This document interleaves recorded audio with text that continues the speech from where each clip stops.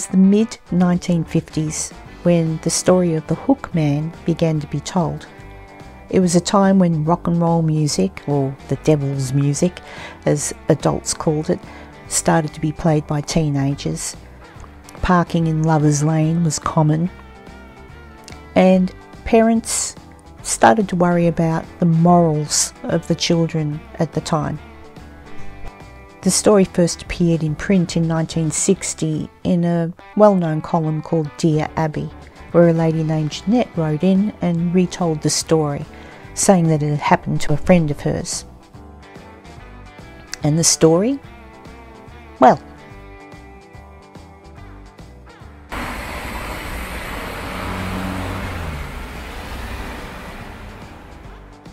A young couple pull up into Lover's Lane. They park, they start to canoodle, they tune in the radio a little for some romantic tunes. When an announcement comes over the radio. Searching for a local fugitive known as the Hook Man, on the loose since escaping yesterday from the Maple Grove Mental Hospital and believed to be heading south. And though local activists are encouraging a town curfew, the mayor has not yet announced a plan. We're recommending all you lovebirds out there stay in groups and head home as soon as you can. The girl, being rather scared, says she wants to go home. As she looks into the rear vision mirror, she sees the man with the hook. The boy turns the car on and they race off, escaping the hook man's clutches.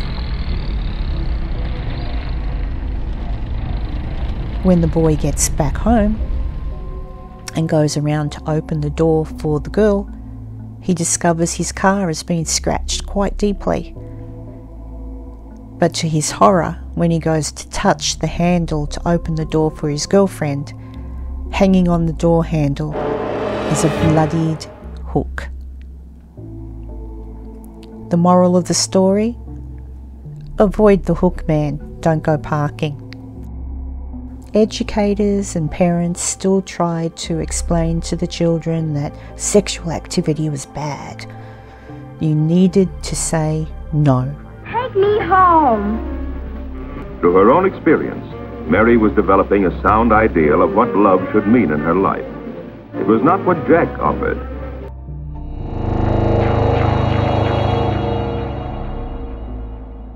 The year is 1946. There was a small town called Texarkana, right on the border of Texas and Arkansas. There was a spate of horrific murders that took place, and the killer was dubbed as the Phantom of Texarkana, or the Phantom Killer, or the Phantom Slayer. He was credited with attacking eight people, five of them fatally, three escaped death. This all in a 10 week period. The attacks occurred at night between February 22nd and May 3rd targeting couples parked in cars in secluded lovers' lanes. However, the fourth attack occurred at an isolated farmhouse in Arkansas. The first attack Jimmy Hollis and Mary Jean Larey. They went out to the movies and dinner on a double date. And after, on the way home, Jimmy made a slight detour he and Mary Jean parked on the secluded Bowie County Road, just outside of Texarkana. They were only there a few minutes when Jimmy decided, for whatever reason, to get out of the car and start gazing at the stars. Seemingly then, out of nowhere, a man appeared. He approached and he shone a torch in Jimmy's face. Jimmy also noticed the man had a gun. Jimmy's first thought was this man had made a mistake. He, he was mistaking himself and Mary for someone else. When he said this to the perpetrator, he was yelled at and he was told to drop his effing pants. Mary shouted, Just do it, just do it. So Jimmy did it. The man then came close to Jimmy and hit him in the head. It is thought that he hit him in the head with either an iron bar or the gun. He hit him so hard that Mary Jean actually thought it was a gunshot. She thought he had shot Jimmy.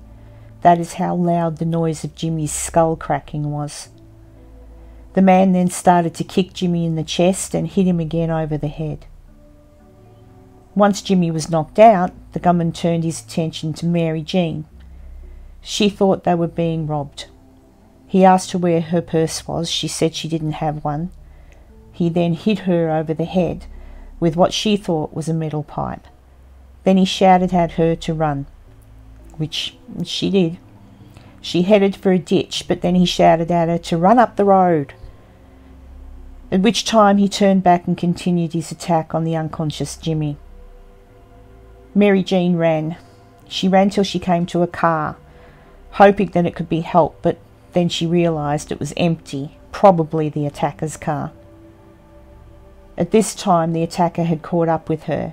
He asked her, Why are you running? She replied, Because you told me to. He yelled at her, calling her a liar, and hit her again in the head. Helpless on the ground, he attacked her. He used some kind of metal object to violate her. When he stopped, she got to her feet. She thought he was going to kill her. Then, luckily, car headlights shone their way, which, for whatever reason, scared him off. As soon as he was gone, she ran for help. She got to a farmhouse. Meanwhile, poor Jimmy had somehow regained consciousness and flagged down a passing car. Although both traumatised, Mary Jean and Jimmy lived to tell the tale. Jimmy spent eight days in hospital, but he recovered from his injuries. Both gave conflicting descriptions of the attacker. Jimmy said he was a white man, and Mary said he wore a bag over his head with the eyes cut out. Either way, there was not much to go on.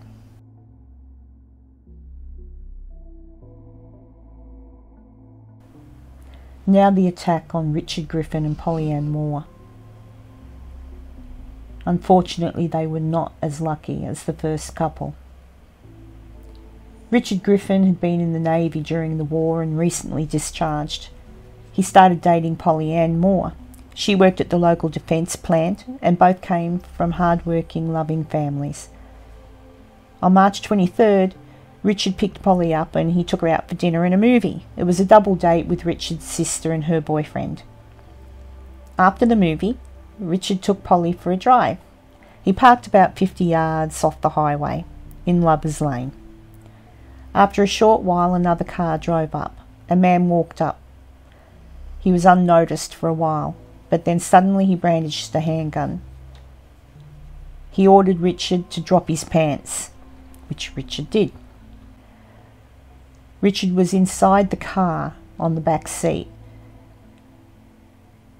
And at this point, the perpetrator shot Richard in the back of the head twice. Then he turned his attention to Polly. She was forced from the car, shot twice in the back of the head outside on a blanket. It was unknown whether or not Polly had been violated. For some reason, he moved Polly's body back into the car and left her slumped in the front seat. The next morning, the couple were found by a passing driver who checked the car and discovered the horror inside. The police came, of course.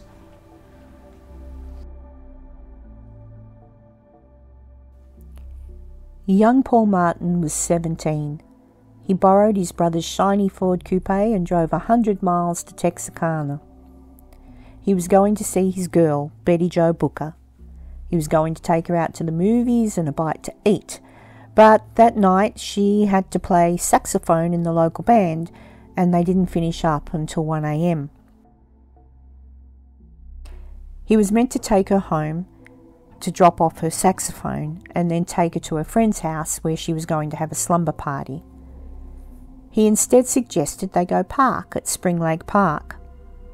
They hadn't been parked there for very long when a car drove up and a man got out, pointing a pistol at them. What eventuated after that is not very clear, but on the Sunday morning at 6:30 a.m., Mr. and Mrs. Weaver, locals, were driving into town and they saw young Paul lying on the side of the road. Mr. Weaver didn't get out to investigate, instead, he drove to the police station to alert the authorities. When the police arrived to the scene, they found Paul's car about a mile and a half down the road from his body. The poor boy had been shot four times twice in the head, once in the chest, and once through his hand. At this time, no one knew that Paul had been with Betty, so they weren't looking for her. However, later on, they were alerted to the fact that she was indeed with him, and they started to search for her body. Her body was located in behind some trees a few yards off the lane. She'd been shot twice, once in the head and once through the heart. She was one mile away from Paul's body in the opposite direction and two miles away from the car. Later investigations had shown she too had been violated, although she was fully dressed at the time she was found.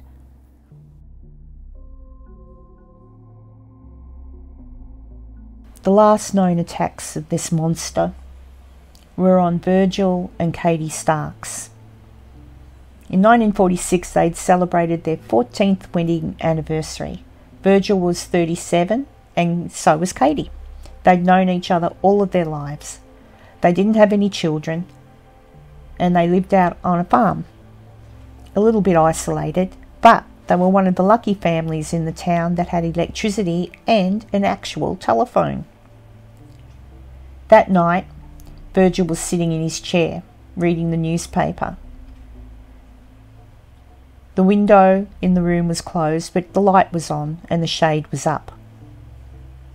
He sat with his back to the window. Katie was upstairs getting ready for bed. She heard a noise outside in the backyard and she told Virgil to turn the radio down.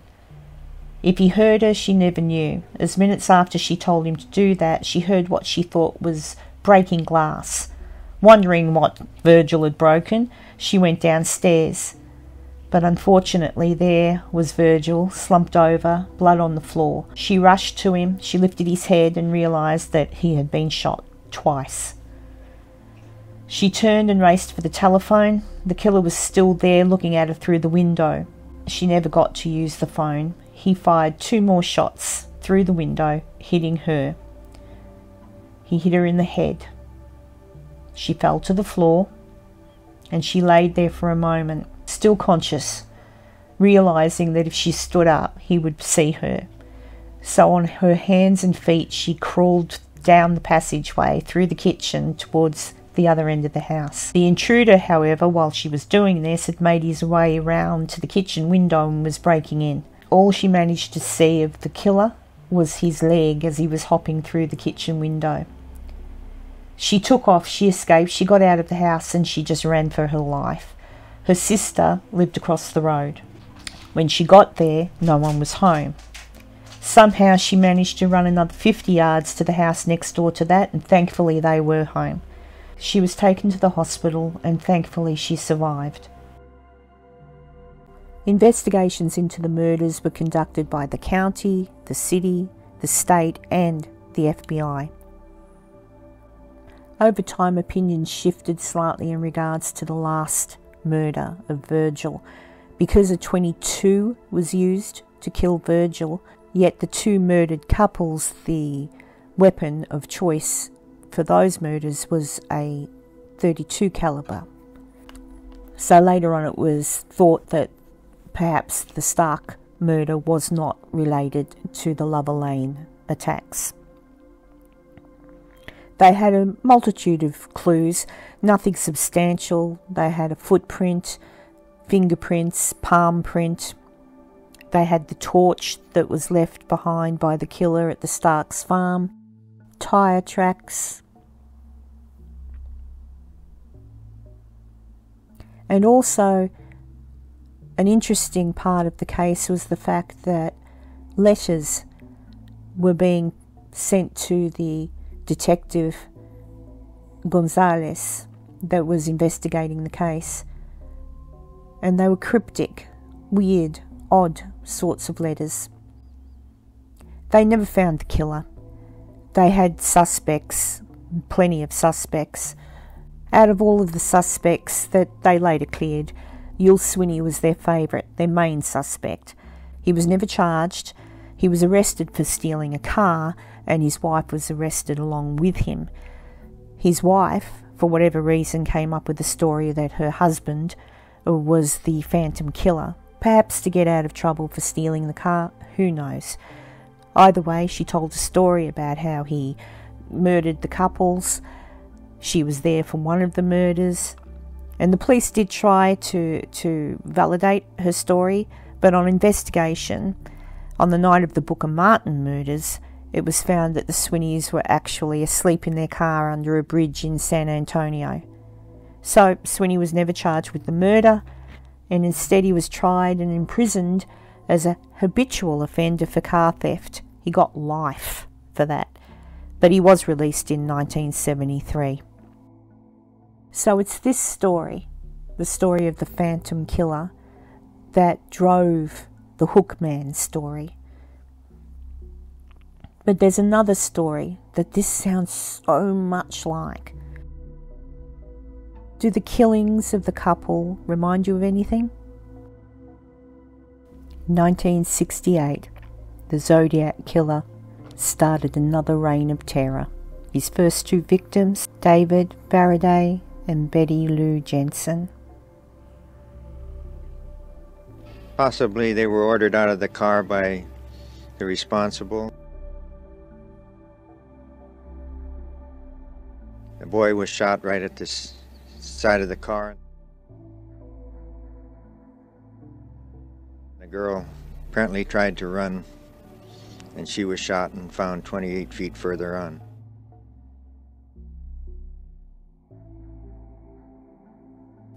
The next couple were Michael Mageau and Darlene Ferrin. They'd gone on a date, and Darlene had driven out of town in the direction of Lake Herman Road. Shortly just before midnight, she turned her car into the parking lot of the Blue Rock Springs Park. Not long after she arrived, another car pulled up and parked. The unknown driver turned the headlights off on his car and sat still for a little while, just at the steering wheel. Mageau asked who the driver was, and Ferrin vaguely replied to not be worried about it. The other driver then left, and they were alone. Five minutes later, the driver returned and parked just a few feet next to Ferrin's car. He got out of his car, approached Ferrin's car, and then he shone a flashlight at them. The couple assumed it was a police officer, and the boy rolled down the window. Apparently, the man did not speak, and he fired the gun into the car. One bullet hit Mageau in the right arm, and the other hit Ferrin in the neck.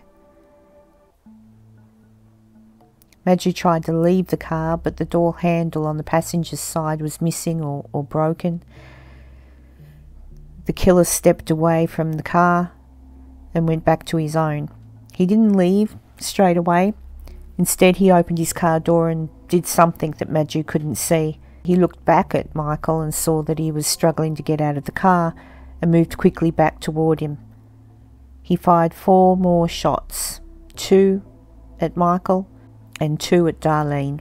Not long after the shooting, three teenagers drove into the parking lot saw the wounded couple, and they left to get help. The police arrived at the scene at 12:20 a.m. and started to investigate. Ferrin was pronounced dead at the hospital at 12:40 and Michael survived. Not long after the shooting, the police department received a phone call from a public telephone just 2 blocks away from the shooting. Vallejo Police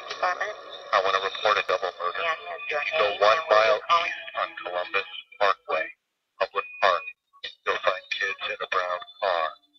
They were shot with a 9 millimeter Luger. I also killed those kids last year. Good. Bye. The next attack Bryan Hartnell and Cecelia Shepard. They were picnicking on a small island connected by a sand split to Twin Oak Ridge. A man, about 5 foot 11 inches, weighing around 170 pounds, approached the couple. He was wearing a hood. He had clip on sunglasses over the eye holes and some kind of bib on his chest that had a cross circle symbol on it. The hooded man approached them with a gun. He demanded that Bryan tie Cecelia up. Bryan thought that he was trying to rob him, but apparently he didn't want anything like that. Celia Shepard and Bryan Hartnell, both in their early 20s. Oh, just a hooded man came up with a pistol drawn on him, tied him up, and then told him he had to kill him. So I considered him a robber. I had absolutely no thought uh, that he was anything but that. He stabbed Bryan six times, and Shepard was stabbed ten times. Killer then hiked 500 yards up the road. He drew a cross circle symbol on Bryan's car door with a black felt tip pen and wrote beneath it the dates of the other killings. At 7:40 p.m., the killer called the Napa County Sheriff's Department from a payphone at a car wash in town. He first said that he wanted to report a murder, then he changed it to no, a double murder, before telling the operator that it was he who had committed the crime. Luckily, after hearing the victim's screams for help, a man and his son fishing in a nearby cove discovered Hartnell and Shepard and got help by contacting the park rangers. Around two weeks later, Paul Stine was driving his taxi cab in downtown San Francisco when he picked up a passenger, a white male passenger. The passenger requested to be driven to the intersection of Washington and Maple Streets in Presidio Heights. When they arrived, the passenger asked to be driven one block down to Washington and Cherry Streets. The reason for the request is unknown. Stine then drove the distance, and at approximately 9:55 p.m., Stine was shot in the head with a handgun. It likely killed Stine immediately. The Zodiac then took Stine's wallet and car keys. This was the last officially confirmed murder by the Zodiac. Now I'll get to why I've mentioned the Zodiac killings at the end of this episode of The Hookman. So I'll start off by explaining that the composite sketch that everybody is used to seeing that was created from the three teenagers that were overlooking the Washington and Cherry intersection in the moments just after Paul Stine was shot in his taxi cab. But as we've learnt over the years and with crime, eyewitness recollections aren't very reliable. So, what conclusions have I come to? In my personal opinion, just a theory. After researching the Phantom Killer, I just was fascinated by the fact that the Phantom Killer's killings were almost exact in MO to that of the Zodiac Killer. And when I looked into the Zodiac Killer and the suspects, I found Jack. And I found Jack because his stepson, Dennis Kaufman, went to the police and the FBI after his stepfather's death and told them he was sure that his stepfather was the Zodiac Killer. The identity of the Zodiac Killer is Jack Tarrance. He's my stepfather. He produced evidence. He produced tapes where Jack confessed to the killings. He produced coded letters and most interestingly, he produced a hood, which he found hidden and rolled up in an old amplifier. The FBI did perform DNA tests on the items that were supplied by Kaufman. They did a handwriting analysis as well. Interestingly, they came back inconclusive, so we haven't really ruled Jack out or in. I would have loved to have spoken to Dennis Kaufman, but unfortunately he passed away in 2018. So, in my research, I decided to find out a little bit more about Jack. So, I did find out that at the time of the Texarkana murders, guess who lived in Texas? That's right, Jack Tarrance. Jack Tarrance lived in Texas.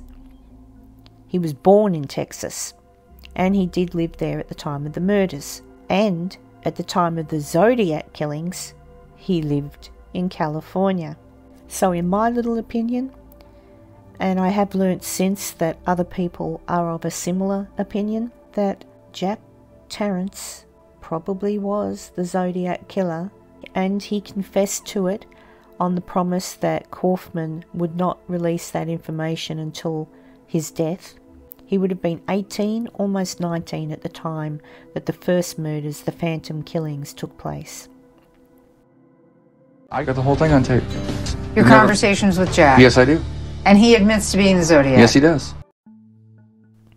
So I'll leave you to ponder that, and I can leave you with the surety that there is no hook man that comes and attacks a car when you park in Lover's Lane. However, I cannot assure you that some homicidal maniac isn't going to attack you. Thanks for watching.